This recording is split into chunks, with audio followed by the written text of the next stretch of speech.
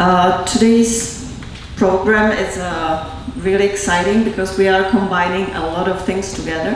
So it's a part of the festival. It's uh, two exhibitions opening or viewing, um, and it's also we will be filming conversation with our, our talk of our guests, and it will be online and it will become a part of our program of discussions called Havel Conversations. So we have um, tripled the, the uh, today's event, and we are really excited about having this wonderful exhibition here. It has been postponed for two and a half years, so finally it made its way to New York. Uh, so I will just um, introduce, say a few words about the exhibit, uh, or maybe I don't have to. you will be talking about it, about the exhibit and book. And uh, so I will just introduce our speakers. So um, uh, it is my great pleasure to welcome Eva Heyd. Uh, she was born in Prague and graduated from Charles University. She began her career as a professional photographer and journalist in what was then Czechoslovakia. In 1985, she emigrated to the United States, where she lived for 20 years, working as a photographer for prestigious museums and galleries in New York. In 2005, she returned back to the Czech Republic, where she settled in the small town of Rožmitál pod Přemyšlím, central Bohemia. I visited her a few months ago. She has a beautiful garden with two two anim- sheep, sheep, and uh, many other animals. So she she really she's amazing. She does so many things. Um, she acts also as a project manager of Czech National Trust and takes care of several projects of this non-profit organization. She is active as a journalist, photographer, and writer, and she also curates art shows. Uh, in her own artwork, she concentrates on art projects experimenting with the use of photographic images. She has exhibited in leading galleries in New York as well as other parts of the United States and Europe. Alex Zucker is an accomplished translator of Czech literature with many important awards for his extensive work. Um, he has two translations out this year The Lake, a novel by Bianca Bellová, and the selected writings of Jan Patočka, Care for the Soul. He lived in Prague from 1990 to 1995 and currently lives in Brooklyn. Alex is also a social activist and spends a lot of time campaigning for human and social rights, especially in New York City. And you can find more about all his work on his website. And uh, last but not least, Maida Kalab Whitaker serves as a secretary of the board of directors of the Dvořák American Heritage Association. She's an independent scholar and museum consultant specializing in late 19th and early 20th century cultural and design history and has acted as an advisor for the Dvořák Room project in B&H since 2006. Since the grand opening of the Dvořák Room in 2011, she has presented lectures, walking tours, and exhibits including New World Diplomacy, the contract that brought Antonín Dvořák to America, uh, Daha 25 years of celebrating composer Antonín Dvořák and his American legacy, and many others. So uh, thank you very much for coming and enjoy the program.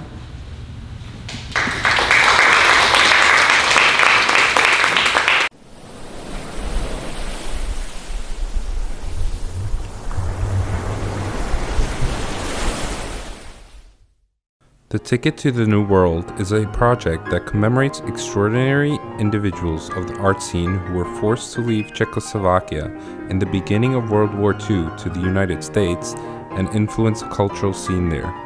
Those who returned home after the war brought with them new and invaluable experiences. Voskovec and Werich were a famous acting duo associated with the Liberated Theater during the First Republic. They were inspired by the comics of their time, such as Charlie Chaplin. They criticized Hitler and the Nazi regime and had to immigrate to the United States before the outbreak of World War II. After the war, they came back home, but then parted ways. Werich decided to stay, and Voskovec returned to the States to build a career on Broadway and in Hollywood. His most significant role was in the movie 12 Angry Men. Jan Werich played in and directed films in Czechoslovakia, and the two were not in contact for some time. Later, their brotherly bond was renewed through letters they sent each other. Paul Fierlinger is to this day at the top of the list of American animators. The son of Czech diplomats, he was born in Japan, brought to the US, and placed into foster care in Burlington. He was returned to Czechoslovakia for political reasons, where he spent his teenage and young adult years in the communist regime.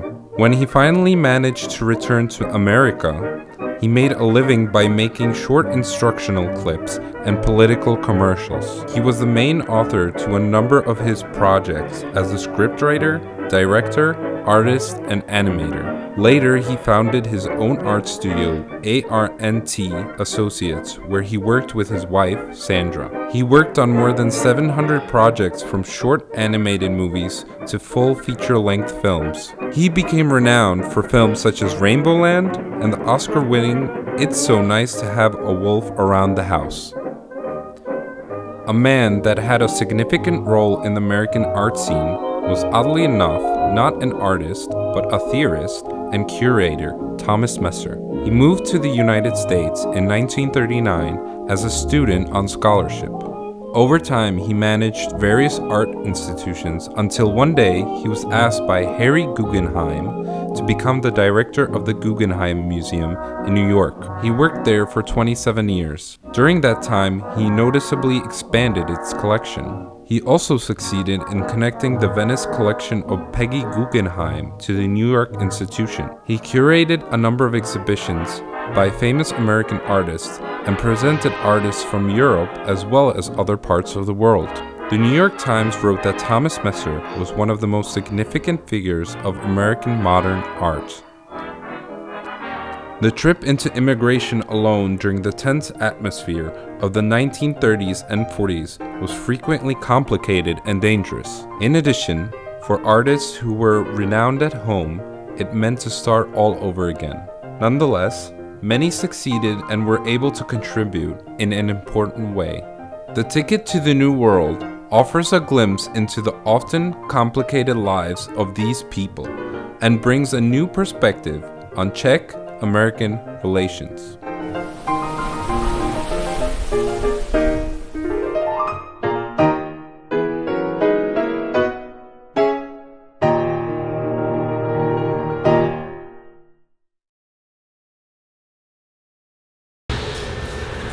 All right, so uh, we already had the introductions. I just want to say um, personally very grateful to be here. Um, thank you, Pavla, for inviting me to take part in this event, getting to meet Eva and learn about um, some important um, figures in Czech culture I didn't know about otherwise. And thank you to the uh, Václav Havel Library Foundation for putting on this series.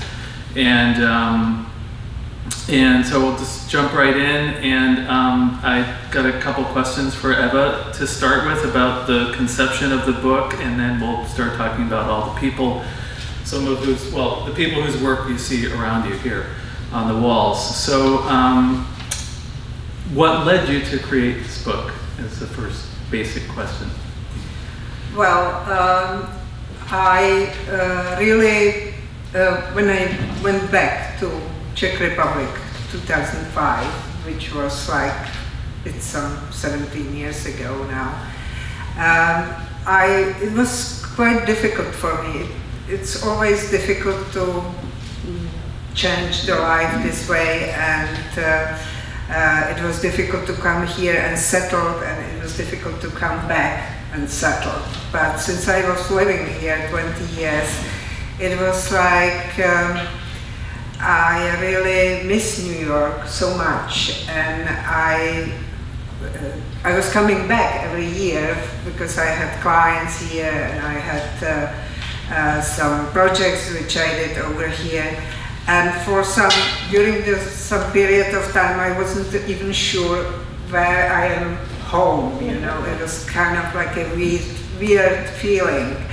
So when I came here and the, the, the guy uh, at immigration told me, welcome home, I, I, I, for, for a while I had feeling that I am more home than in Czechoslovak in Czech Republic. And uh, so I sort of uh, was thinking about my memories uh, and uh, suddenly I realized when I came here in 1985 I met several people who sort of stick in my memory, uh, stuck in my memory and are still present. And it occurred to me that it would be fine to uh, really somehow put their stories down. And uh, when I came here, I still remember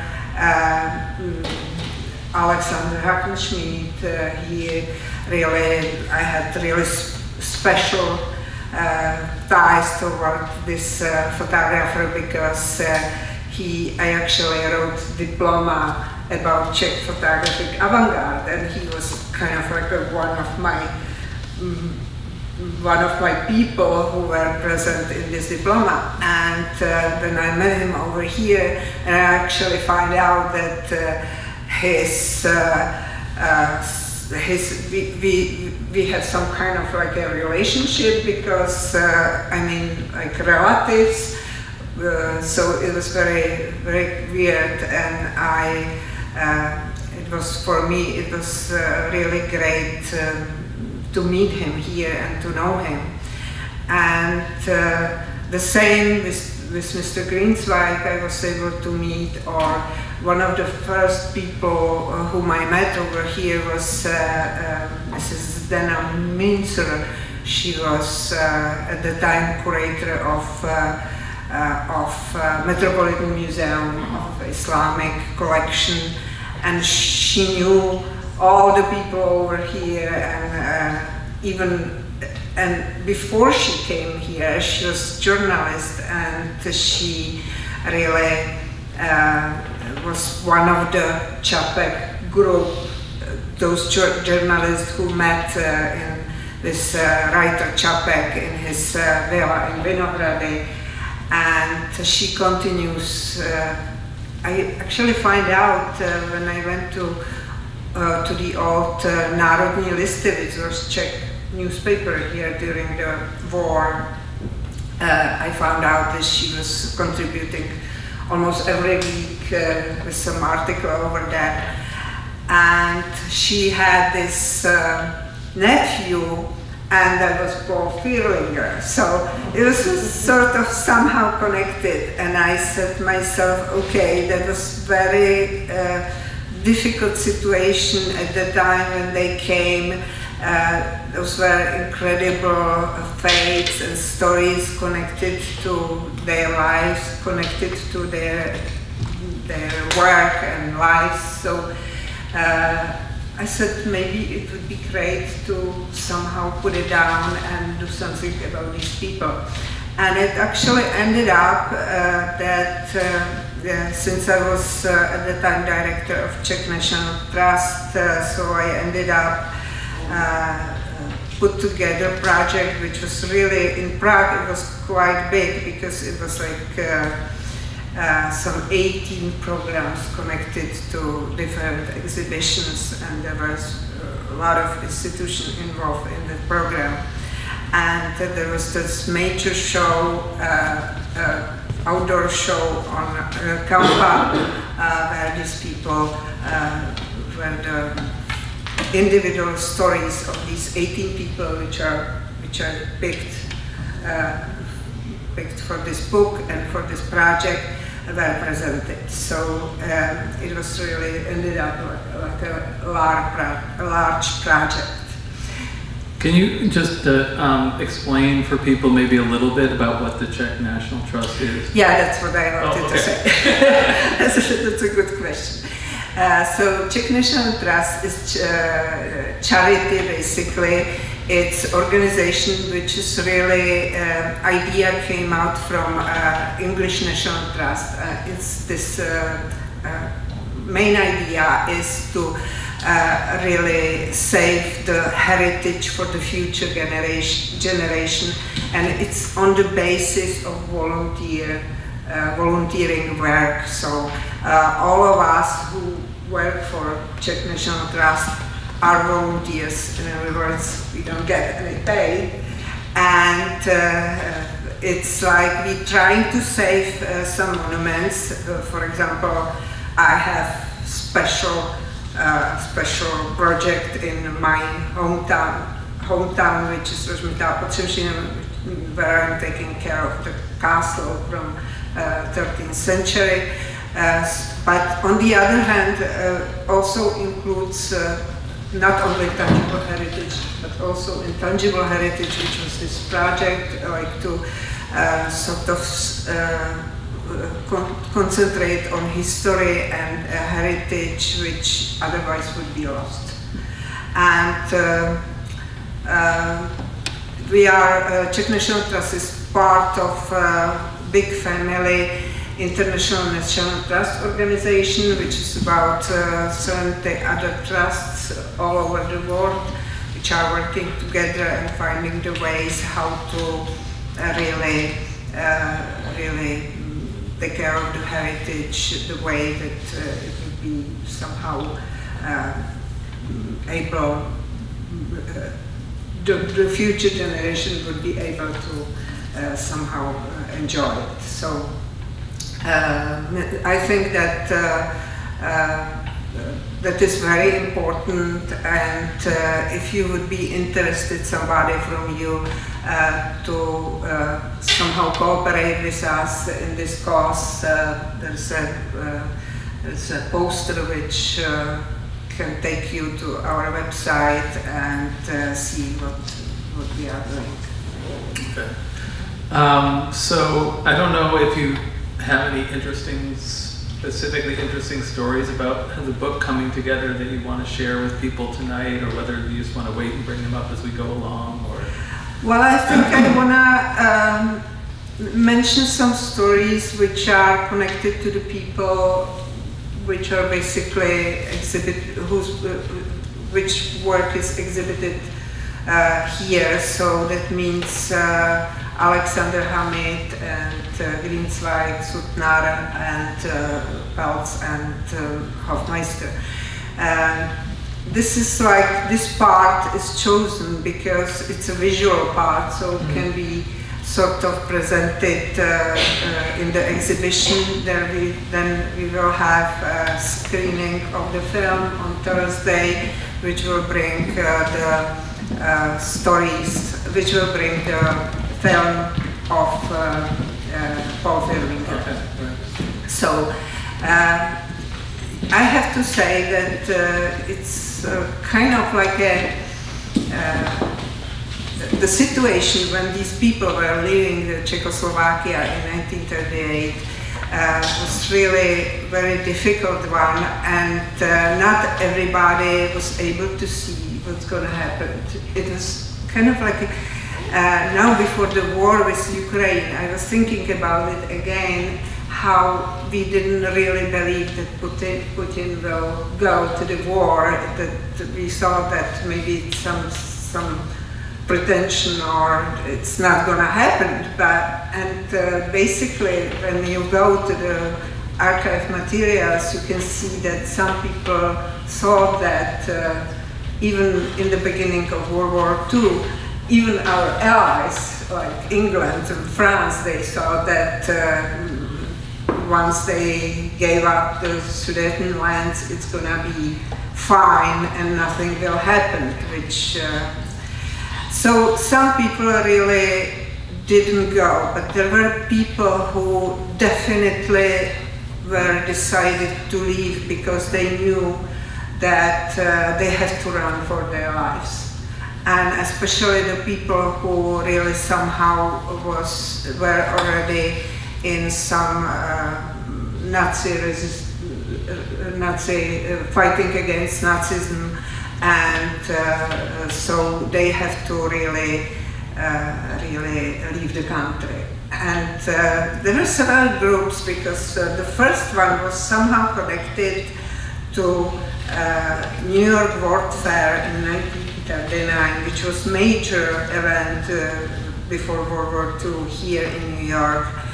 And uh, this was a huge showcase of, uh, uh, of uh, modern technique and modern architecture, and Czechoslovakia was part of it. And the, during the 1938, they built beautiful Czechoslovakian pavilion at this uh, Flushing Meadows area where the, where the event took place. And a whole group of people were sort of connected to preparation of that pavilion. And one of the major figures was uh, Ladislav Sutnar, whose work we have here right behind us. And uh, he, uh, it was very interesting story because he uh, was sitting on the train leaving to, uh, for New York and uh, it was in the middle of March, and uh, Hitler came to Prague, and he was called from from the train, mm. and uh, was like uh, nothing.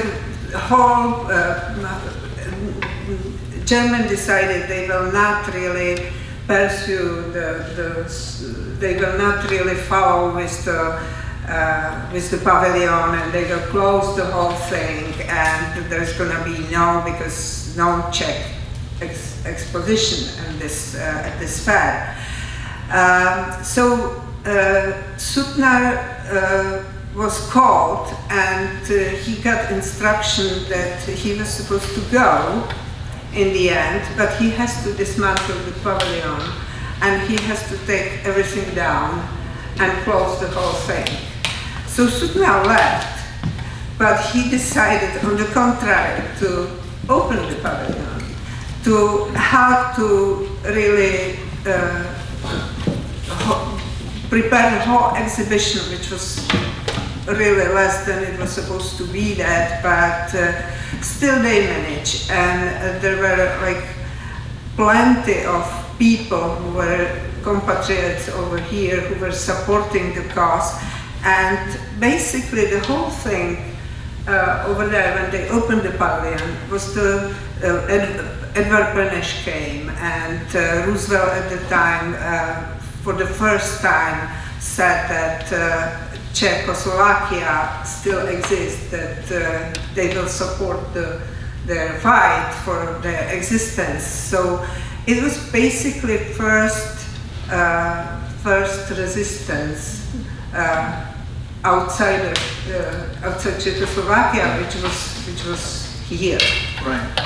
And you said you were telling me also that um, the World's Fair was how Sutnar, Hammid, and Gruenzweig met.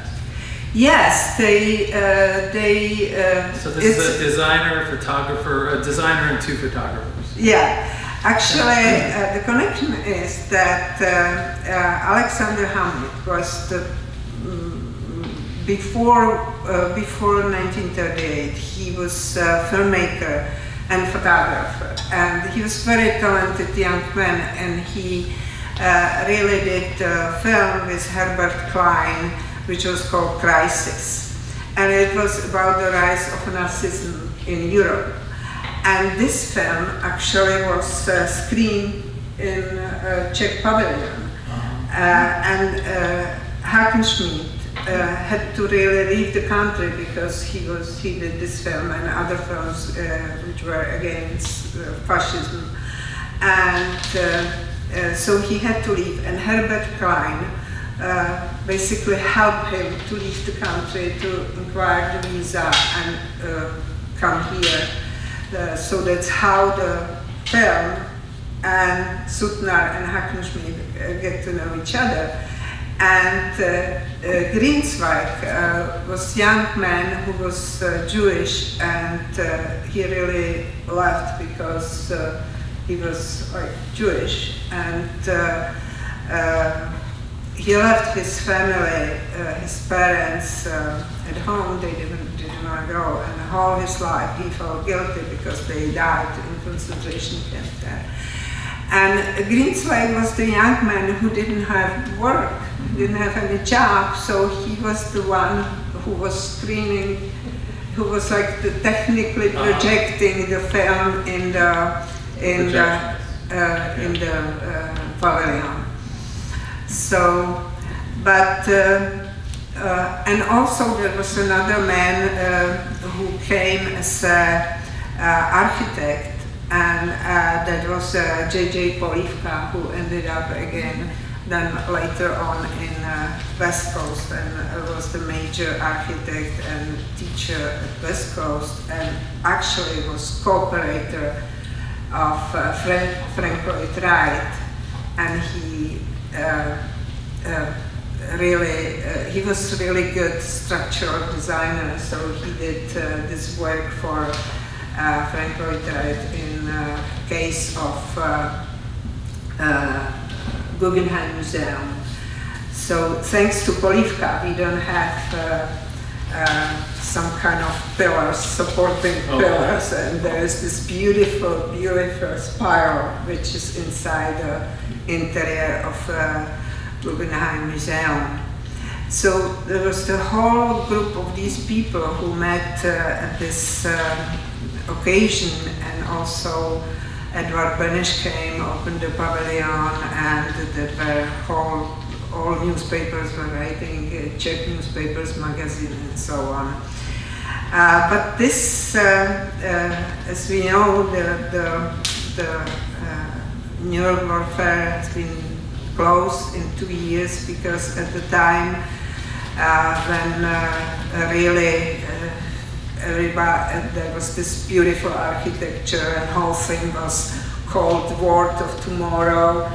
Uh, at the same time, suddenly in Europe, the uh, Europe was destroyed by, by German uh, German airplanes and German bombs and all architecture went so, so basically it was closed because of World War II. And it's interesting that some of the stru iron structures used for the pavilions were, uh, were changed to uh, weapons yeah, to really fight the, fight the Germans. So it's just it was absolutely incredible time, and uh, the people who came here were really uh, didn't have work. They didn't have job. They were like uh, uh, like Sutnar was a very famous figure already in Prague. He was one of the major uh, functionalist uh, designer, and uh, he was figure. He was teacher in the, the he was director of the School of Graphic Design. He was uh, really designing the shows, uh, inter international expositions. So he was really somebody Czechoslovakia. Can I just interject though to say that one fascinating, and maybe not super important in terms of his overall career as a designer, but Ladislav Sutnar was the person who invented the parentheses that go around the area code and phone numbers when he had a job designing the phone book. Yeah, yeah. yeah. And not only that, he was like, uh, he is actually considered like uh, grandfather of American graphic design. So he was really, but in the beginning he really was nobody and he had to start from scratch really. And his designs in the beginning were considered really too um, avant-garde for the for this uh, scene, you know, for American scene. Uh, he wanted to uh, he wanted to do some uh, modern toys, for example, and he didn't succeed. it. So later on, he actually uh, through his connection with Bauhaus, because we were all connected in, at the time before World War II, that Prague was really center of uh, avant-garde, left-wing uh, avant-garde, avant-garde, Bauhaus, and everything was uh, really, it was like a little Paris, really. And uh, Sutnar had this connection because a lot of these people from Bauhaus came here to America because Hitler really didn't like this avant-garde art, art. He really hated. He had this different type of art which he. Uh, so um, they came here because they were afraid. So through this connection, he finally found uh, work in uh, something what was called uh, Sweet's Catalog Services. He has something, some his designs over here. Um, uh, it was basically catalogs like which were sent, uh, production catalogs which were sent to people. They were supposed to pick up some materials or some products from it. And uh, in the beginning, it was done by typesetters. It Yeah. wasn't really, it wasn't really job, you know. And uh, what Sutnar did was that he managed to really change it like a not only great tool but also piece of art. So it was really uh, something. He never signed that. It was very anonymous, and he started there uh, 1941 and with re- really great amount of these um, uh, these um, catalogs and uh, he concentrated on visual flow so that means that he sort of was taking the eye of uh, the person who, who were watching the, the poster or whatever it was and uh, really oriented the person through the visual uh, flow. Uh, a little bit later, 1951, he uh, opened his own studio, and later on, uh, he had his son Radoslav uh, working with him in the studio, and he did a lot of, uh, and he uh, made, uh, he wrote a major book on graphic design, which is called Visual Design in Action. And later on, actually came uh, a lot of a lot of jobs, as you said, parentheses, because he was really um, organizing yellow pages. He also did uh, uh, uh, traffic signs. All this kind of uh, jobs, uh, he, he really was uh, and he was almost forgotten. Um, uh, finally, to 2003, uh, 2003, uh, uh, Museum of Decorative Arts, uh, really together with uh, Cooper Hewitt uh, Museum, did together a major show in Prague, and uh, now he even has his own uh, the school in Plzeň, graphic design school in Plzeň College is named after him, but uh, he was really great uh, designer. So just not to, I'm sure we can talk about Sutnar, but I'm just keeping an eye on the time. yeah. And we've got all these other great artists also, whose work is featured here and in the book. So um, maybe you could say a little bit more about, So we have photos here, these are on the left here. Uh, those are Sasha Hammid's photographs. Yes. correct? And these are Petře Grünzweig? Magic Lindzweig, yeah. Yeah, so maybe you can talk a little bit about um, their um, their personal stories and their work and how they got here, um, and then from there we'll move on to Hoffmeister and Pelc, the caricature. His name uh, in Czechoslovakia was Alexander Hackenschmied. He changed the name when he came here. And he was uh, really extremely talented uh, young man. He started with photography when he was 15 and he managed to uh, really very early to start with film because his, his photography was basically way how to get to film. And uh, there was this uh, great film studio in Zlín uh, where Baťa really managed to uh, managed to bring a lot of young filmmakers who were really willing to experiment, uh, exper- experiment, and they did a lot of films like advertising films, but they Baťa is a shoemaker for those who Yeah. aren't familiar with it yeah. yeah. So uh, uh, they uh, and over here he started this film and later uh, started to cooperate with uh, Herbert Kline, as I said, and came to here.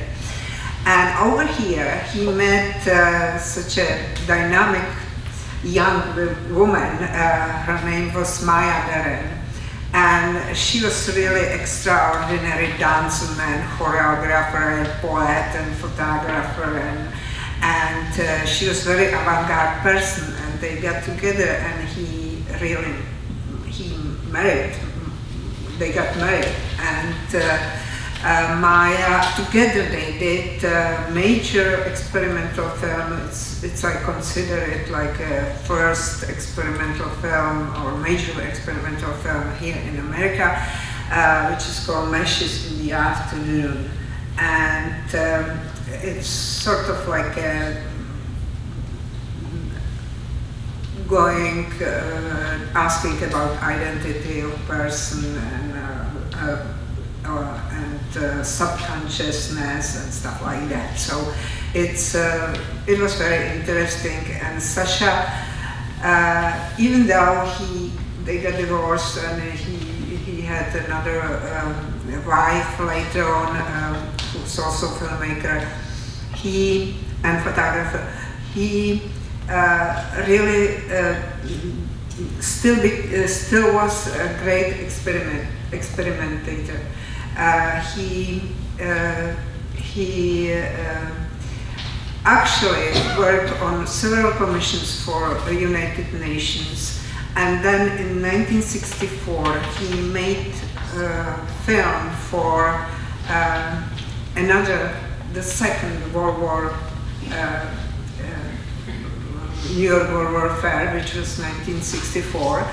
And uh, this time his film was projected on three screens. So it was something very unusual. And later on, he even did six screens. so he was really, it was really interesting. And the film, uh, which names uh, uh, is To Be Alive, uh, got Academy Award. So he was, it was really considered like a major. You said he worked on early versions of IMAX too, is that yes, correct? Yeah. Yes, he was, uh, that's exactly true, yeah. And uh, uh, so he edited IMAX films for till basically till before he left and retired. So he was major uh, filmmaker who did a lot of experiments in his life. So Grünzweig uh, uh, also worked for the United Nations. It was like uh, for several years uh, when he uh, was really, really taking care of broadcasting there about uh, audiovisual programs. He was sent to uh, do some audiovisual programs uh, like uh, like interaction like peacemaking and stuff like that. Um, but uh, in his free time, he always photographed. He he was fascinated by New York, and as soon as he came here, he started to photograph. And uh, uh, he did this type of uh, human-oriented uh, photography when he is he was very sensitive to uh, human struggling and tragedy and all these unusual situations you could see in the street. the one over there, which is uh, called Between Heaven and Earth, uh, uh, won him first prize in U.S. camera competition, and so he was which, which one the, the one the one where the guy is washing the oh, between heaven and yeah between heaven and earth, and he really. Mm, concentrated on this work and when he uh, retired uh, in uh, uh his UN mission, he uh, started to work with uh, International Center of Photography. And he became right hand of Cornell Capa. And thanks to him, for example, he was really instrumental with the Czech show in uh, ICP uh, in, uh, I think it was 92, uh, which was really, uh, really a major show of Czech photography history in modern photography. So Mr. Angel was curating this show and it was really uh, something very important for Czech photography.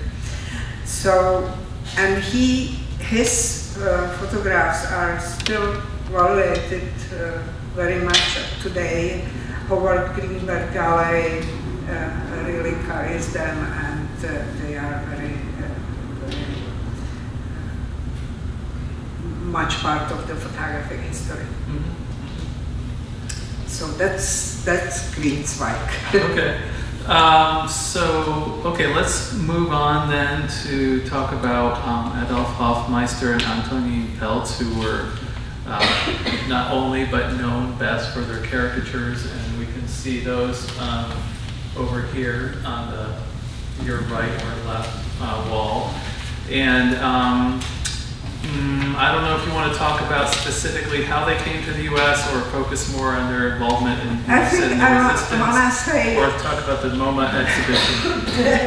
I think uh, uh, they were, their trip to United States was very interesting because uh, Adolf Hoffmeister was a very dynamic person and, in, as a young man, and uh, he uh, also was uh, involved in all, all over, all over. Like he was one of the founders of Devětsil, which was like wing avant-garde, avant-garde group.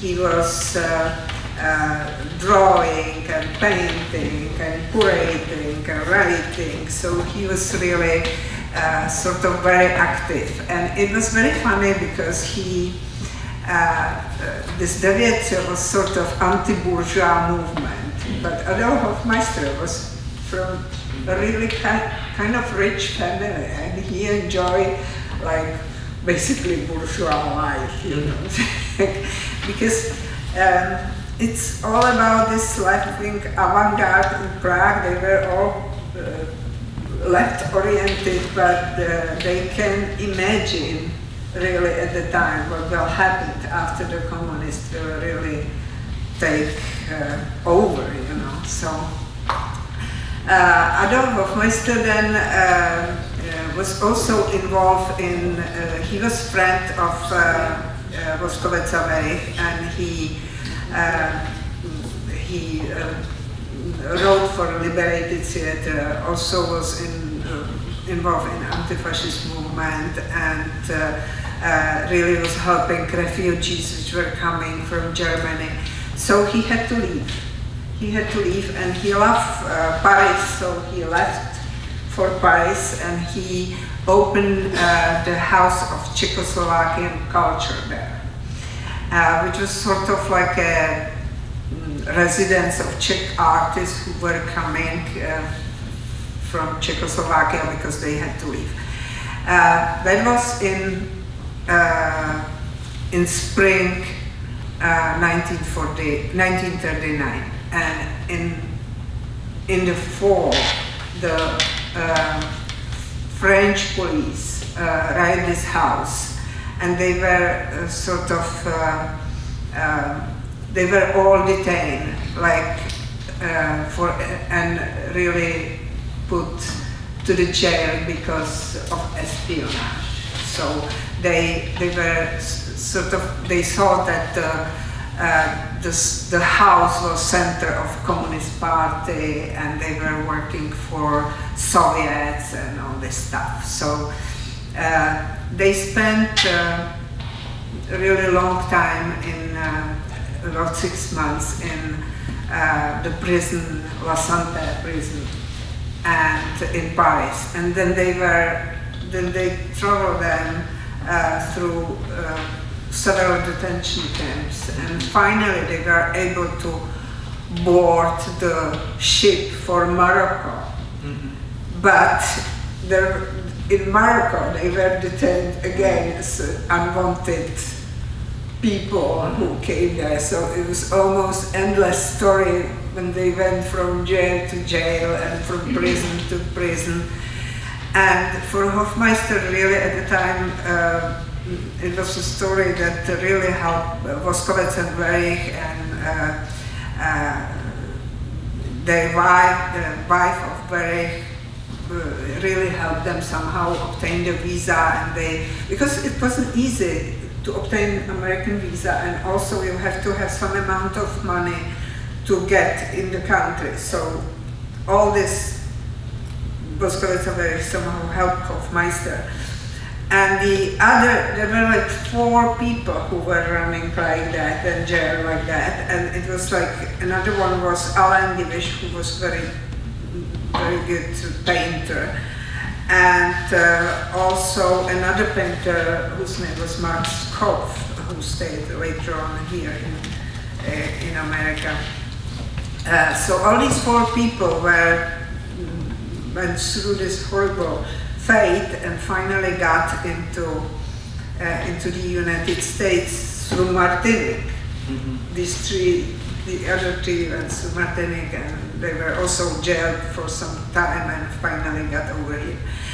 And um, uh, Pelc was so happy to really be here somewhere else than in jail. He started immediately like, uh, really a great production of these caricatures, uh, which were uh, he did them. He did uh, for magazines and newspapers, and Hoffmeister also. He um, uh, you can see one of the pictures over there is actually a picture of New York Times where they mm, where they were publishing all those all those caricatures and. Um, uh, especially Pelc had really won some prize uh, for in the competition which MoMA, uh, uh, MoMA at the time really uh, opened for, for artists. And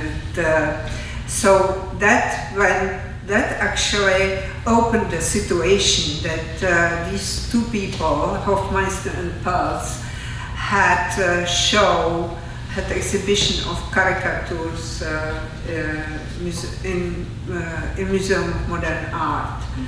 And it was actually the first Czech show in Museum of Modern that Art. was the first one. Yeah, it was the first one. So.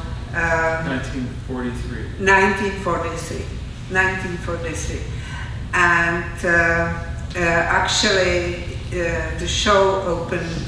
Uh, uh, he was not at the opening, but oh. like two days later, President Edvard Beneš came there, and all, all the Czech exiled people were there. So. May I share this story? Yeah, share okay, this story. Okay. so this is this was uh, a story that's in the book, which I personally like. Maybe we're going to find out how many people in this room share my sense of humor or have sense of humor, really.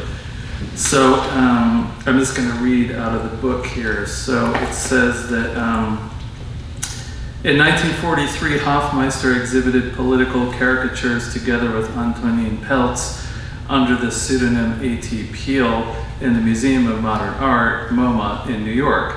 It was a big thing.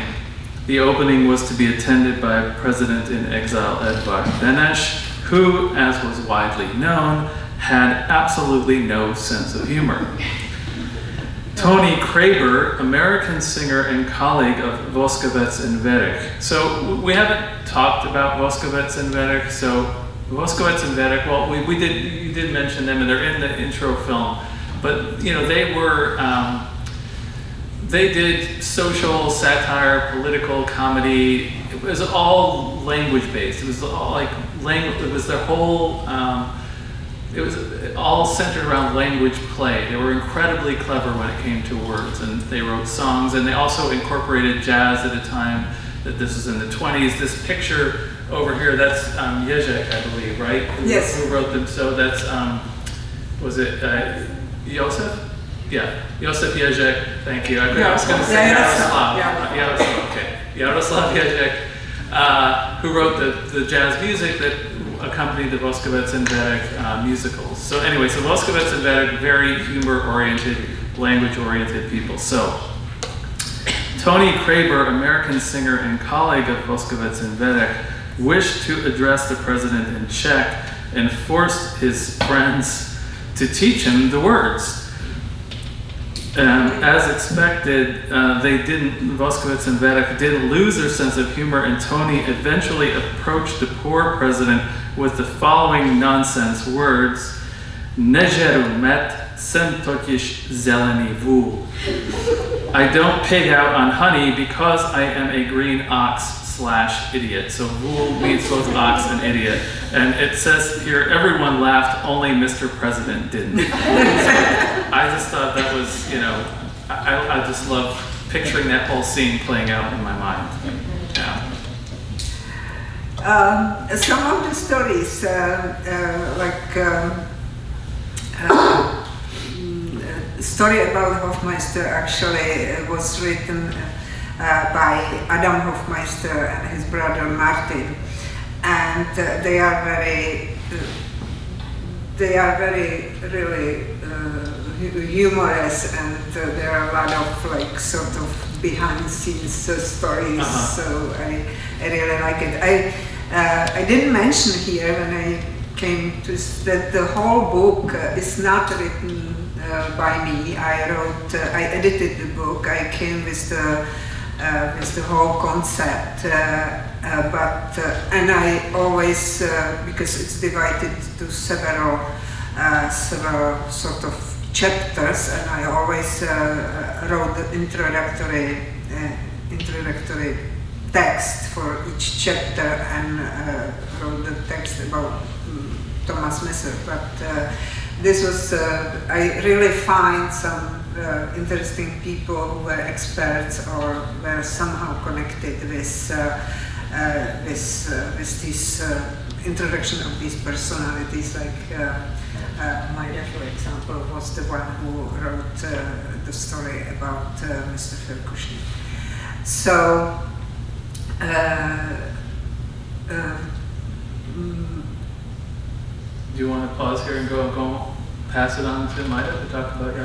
uh, maybe I finish with uh, with Hoffmeister Sure, because I uh, I would like to still mention one thing. Uh, they were involved uh, also with uh, uh, uh, with the parade, which is called uh, in the parade, which is called which was called uh, New York at War. Uh, it was actually tomorrow will be 80th anniversary of this parade, which was the biggest parade which was held in New York, and uh, it was the parade was uh, also reaction on Lidice, which really happened just a few weeks before, and uh, uh, Czechoslovakia had this float there, parade float, and it was uh, really decorated by Sutnar and uh, by Pelc and by by Hoffmeister. So it was something uh, which they really have to say that almost all of them was working for the Czechoslovakian cause. Uh, Sutnar for all his life, uh, many of them all his life. So it was really, uh, really uh, important for them. And uh, Okay.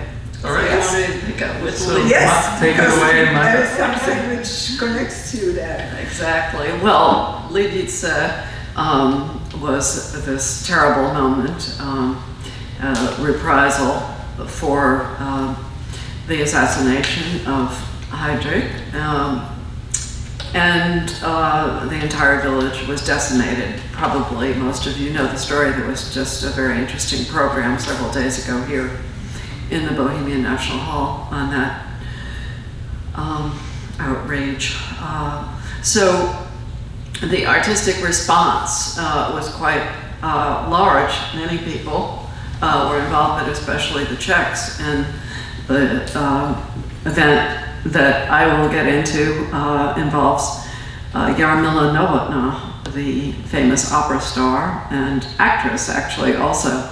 Um, in uh, Lidice took place on June 10th, massacre of 1942, and um, just in the process of being recorded was uh, a group of folk songs, uh, Czech folk songs, and um, it was Jarmila Novotná uh, singing, and she was accompanied by Jan Masaryk, the son of the former president of Czechoslovakia, the first president, and um, Thomas Garrigue Masaryk. And um, actually, Jan, it might surprise you, he was the foreign minister in exile, but he was actually a very good pianist, amateur.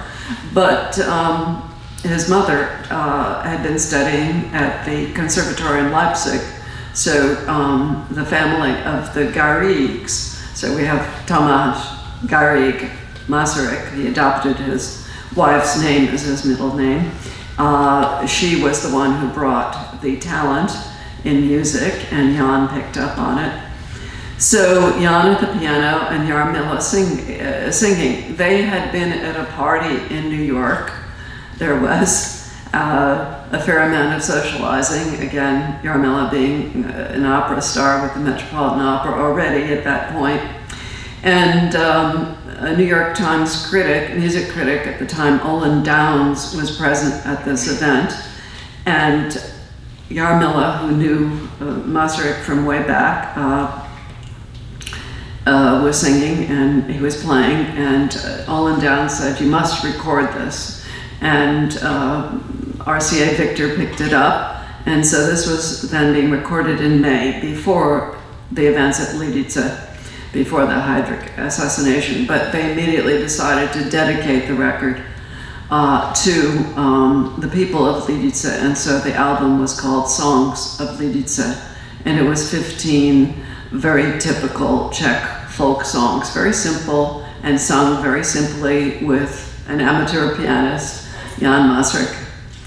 Uh, and uh, this was publicized uh, really around the nation, and there were many other artistic responses, of course, with making of posters, and um, even Edna St. Vincent Millay uh, wrote a poem, and it was released about the same time as this RCA Victor um, record. Um, and Jarmila, uh, you know, went around the country with promotional efforts that were uh, put together by uh, RCA Victor, and this was really a, a major effort to, uh, you know, increase awareness. And I think it really was a moment, a turning moment for Americans uh, realizing what was going on uh, with Hitler directly, uh, and uh, you know, comparable to what we're experiencing now in Ukraine. Um, uh, one really has to go back uh, further um, with uh, to understand this relationship and very close friendship between Jarmila and Jan Masaryk. Uh, uh, and a, a, little bit I'll say here about the uh, career, the incredible career of Jarmila. She, at 17, age 17, she made her debut at the National Theater. Um, in Prague, and uh, she debuted with The Bartered Bride. And uh, six days later, she sang La Traviata, uh, the role of Violetta, at the age of 17. So uh, she was really um, immediately overnight a star. She really, she never went to the conservatory, but she came from a musical family, and uh, her father sang with the Sokol uh, groups. She was from Prague, Vinohrady, I understand. And uh, so it was a musical family. They went to the opera together. It was opera was very present in Czechoslovakia. So she had this incredible natural talent, and then she was uh, brought to the uh, up through the ranks at the National Theater. So um, she came to notice of Tomáš Garrigue Masaryk, and she was invited to um, Chateau or Zamek Lány, which was the summer uh, place of the Masaryk family, President Masaryk. So she was invited to participate in a musicale. And um, from there, uh, Masaryk took a personal interest in her career and uh, provided funds for her study in Italy uh, and really uh, fostered uh, her as a kind of ambassador of Czech uh, music and culture. And the other person who was tapped in the same way was Rudolf Firkušný. Uh, he was also uh, brought into the Masaryk family of musicians, if you will. And um, I have in the exhibit, which hopefully you'll take a look at after uh, this talk, um, in the Dvořák room, uh, we actually have, a, it's a facsimile because it's too precious to have the original on view, but it's a little um, program from a musicale in which uh, Firkušný at the age of 12 or 13 was invited to participate and um, and Jarmila Novotná, who was 18 already, she had made it to 18. So uh, this was 1925. So the two of them would cross paths constantly during their careers. Rudolf Firkušný, uh, again, being a wonderful uh, uh, talent from a young age and uh, a prodigy at age five, was studying with Leoš Janáček. And uh, so he carried an incredible uh, tradition of Czech music in his memory and throughout his career as a concert pianist around the world, really. Um, so these were ambassadors uh, for Czech music, and uh, I wanted to backtrack a little bit, uh, which was just talk about how they came to America, because it involves, well, at least with Jarmila, it involves the World's Fair again of 1939. Jarmila, uh, um, one of the great conductors that she appeared under was Arturo Toscanini, and uh, she, uh, he was infatuated with her. So uh, she was featured at the Salzburg Festival, I think it was about 1937, in the role of Gilda in Rigoletto. Uh, and so uh, Toscanini invited her to come to the World's Fair, to open the World's Fair with him in a performance. And right now I'm not remembering which one, it might have been Violetta, but uh, I can check that later. But in any case, she jumped at it. And so we're talking about 1939. And uh, what, when did the fair open? What was the date? Uh, has talked about, uh, but she was here to open the, the with this operatic performance. Problem was that Toscanini got, they were practicing in their hotels and everything, but they got to the World's Fair grounds and Toscanini heard the planes flying overhead. So he pulled out. He said, I'm not going to conduct under such circumstances. And I think Jarmila, I don't know the end of that story, I think she did ultimately appear, but the incredible gift that Toscanini uh, made or gave her was an introduction to the Metropolitan uh, Opera. And uh, he said, let's go. Um, and he hadn't been there himself for a number of years because apparently he had a falling out with uh, whoever was the uh, general manager then, somebody by the name of Johnson. It was before Rudolf Bing. And um, in any case, he walked in and he said, you're stupid. You haven't hired Jarmila Novotná yet for anything. And they hired her on the spot uh, with this recommendation of Toscanini. And um, she, of course, had an incredible career at that point behind her because she had been in Berlin and uh, Vienna for many years, uh, uh still very youthful. Uh, and you'll see that whole story when you go into the Dvořák room, so I'm not going to go through those details. But that was how she was introduced to the Metropolitan Opera, and she uh, she went back once still to Europe to bring her family back with her, but she was one of the first ones to really settle and have a career in front of her because she had that contract uh, with the Metropolitan Opera. And uh, so that was history because uh, from 1940 to 1956, she was uh, she did over 200 performances and as many times as possible was singing on behalf of Czech uh, music and traveled across the United States in many capacities. So she was contributing to this war effort uh, in, in many, many ways. Uh, an incredible talent. Um, and likewise, um, Firkušný was uh, traveling, both of them incredibly self-disciplined and um, just nonstop travel. With Jarmila Novotná, there's some statistic like she she signed with these uh, organizations that, that, that would go to you know auditoriums in small towns across the United States and um, bring awareness of Czech music this way. And of course, many Czech communities still existed at that point, so they were included. But um, I understand the second half of many of her programs, she put on Czech costume and uh, was uh, dancing and singing uh, these folk songs again that uh, we know through the um, Lidice album.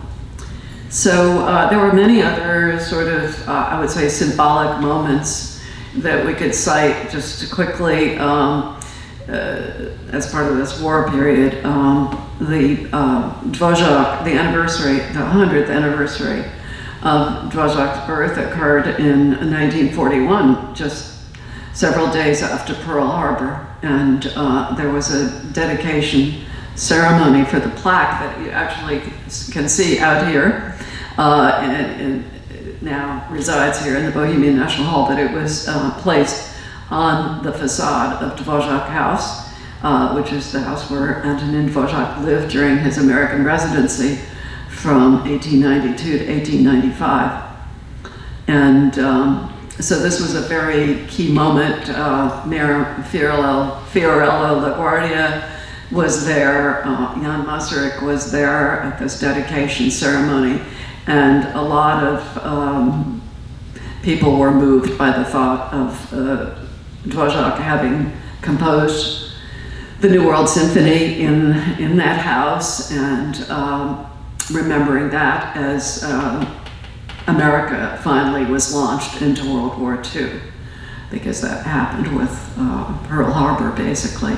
So um, this group of still uh, living students of Dvořák were there, Harry Burleigh, uh, the African American who uh, was at the conservatoire where Dvořák was director, was present. Rudolf Firkušný was present, and so was Jarmila Novotná, and they performed together the biblical songs uh, that Dvořák had uh, written while in New York at that uh, location, which was 327 East 17th Street.